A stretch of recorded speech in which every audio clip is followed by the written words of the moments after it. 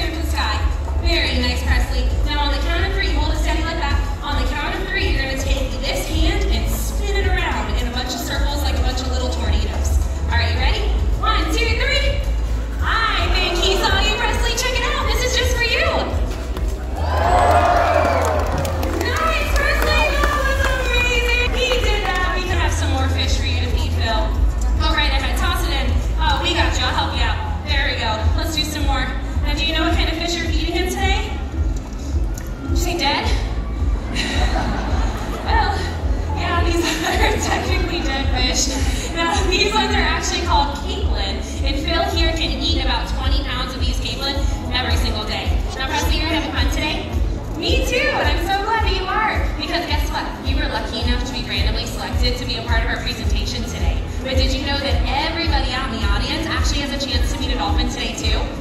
Yeah, right next door at Key West Dolphin Cove is actually where we offer animal encounters, and this is a great way to build a relationship with one of our Flipper friends after the presentation, just exit to the left